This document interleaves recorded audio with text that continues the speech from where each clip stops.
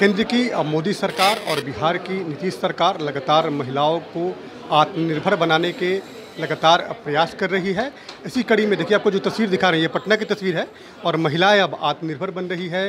अपने ख़ासतौर पर उन्होंने जो स्टार्टअप की शुरुआत की है, एक कोशिश है कि कैसे महिलाओं को आत्मनिर्भर बनाया जाए, जो महिलाएँ हैं, वो समाज में पुरुषों के साथ कदम से कदम मिलाकर बिहार के विकास में भागीदार बने। इसी को लेकर इसमें तमाम जो इम्प्लाई हैं या तमाम जो काम करने वाले जो कर्मी हैं, वो महिला है। और ख़ासतौर पर इसमें बेकरी से जुड़े जो है, तमाम प्रोडक्ट जो है, वो बनाने के एक तरह से महिलाओं को ट्रेनिंग भी दी जाती है। ये बताइए, कितना बदलाव हुआ है? ख़ासतौर पर इसमें तमाम जो लोग हैं, महिलाएँ ही हैं कितनी अपने आपको लगता है कि अब महिलाएँ आत्मनिर्भर बन रही है? हाँ, इसी कड़ी में ये स्टार्टअप है? हाँ बिल्कुल। अगर यहाँ से वो केक से सब सीख कर जाएँगी बेकरी प्रोडक्ट सीख कर जाएँगी वो अपने घर पर बनाकर अपने रिलेटिव्स को हर जगह पे जिनको भी वो जानती हैं पहले तो अब खुद जो जानती हैं उनको देंगी और उसके बाद धीरे धीरे उनका सर्कल बढ़ जाएगा।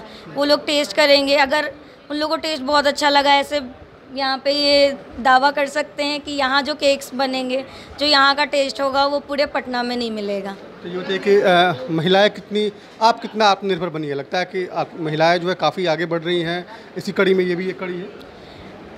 मैंने अपना डिप्लोमा कोर्स करके ये इंस्टीट्यूट खोला है। तो सबसे बड़ा एग्ज़ाम्पल तो यही है कि आत्मनिर्भर बन रहे हैं। महिलाओं को भी और महिलाओं को भी बना रही है बिल्कुल। जो यहाँ से सीख कर जाएँगी सबको वो खिलाएँगी और उसके बाद उसको सेल करेंगी। तो आत्मनिर्भर तो अपने आप ही बन गई वो। कैसा लग रहा है आपको? कैसा लग रहा है? आप लोगों ने भी आप लोग भी ट्रेनिंग ले रही हैं। तो अब लगता है कि महिलाएँ जो हैं वो अब आगे बढ़ रही हैं हर पुरुषों के कदम से कदम मिलाकर हाँ। बिहार के विकास में भागीदार बन रही हैं। हाँ बहुत अच्छा लग रहा है यहाँ सीख के बना के बाज़ार के टेस्ट के अकॉर्डिंग बहुत अच्छा टेस्ट है फ्रेश है हर चीज़ खुद से बना रहे हैं खुद से देख रहे हैं कि कैसे बन रहा है कैसे सीख रहे हैं हम लोग सब कोई। और घर में बनाते हैं तो वो इंटरेस्ट नहीं आता है वो टेस्ट नहीं आता है। यहाँ वो सब चीज़ आ रहा है और बहुत अच्छा लग रहा है। यहाँ से बना के हम लोग ले जा रहे हैं घर तो बच्चे बहुत खुश हो रहे हैं कि मम्मी डेली कुछ नया बना के ला रही हैं। घर पे सब बहुत अच्छा लग रहा है सबको कि कुछ नया सीखने को मिल रहा है। लग रहा है आपको आप भी तमाम महिलाएँ ही हैं जो यहाँ पे सीख रही हैं। जिस दिन से हम लोग केक और बेकरी सीखने आए हैं जो भी बना रहे हैं बहुत बेहतरीन बन रहे हैं और मैम जो सिखाती हैं बहुत अच्छे तरीके से सिखाती हैं प्रॉपर तरीके से सिखाती हैं।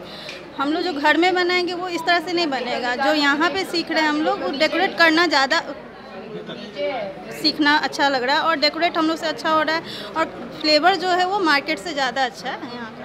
बिल्कुल देखिए तमाम जो महिलाएँ हैं लड़कियाँ हैं वो अपने आप को स्टार्टअप के प्रति काफ़ी जागरूक भी हो रही है। बताइए कैसा लग रहा है? आ, ये अच्छा लग रहा है बहुत मज़ा आ रहा है काम करके कुछ नया लग रहा है।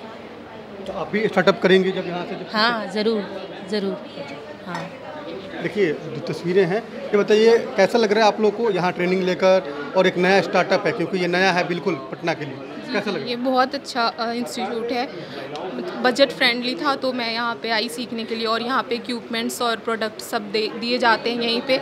और उसके बाद जो भी आपने बनाया है वो सारे आप घर ले जा सकते हैं अपने फैमिली को टेस्ट करवा सकते हैं। तो देखिए कई बेकरीज के कई वैरायटीज़ हैं और ख़ासतौर पर यहाँ महिलाओं को ट्रेनिंग दी जाती है। महिलाएँ कैसे आत्मनिर्भर बने इसकी विशेष जो है वो व्यवस्था यहाँ पे है। और लगातार महिलाओं को ट्रेनिंग दी जा रही है ताकि आने वाले समय में तमाम महिलाएँ जब स्टार्टअप की शुरुआत करें तो बिहार के विकास में वो भागीदारी सुनिश्चित करें।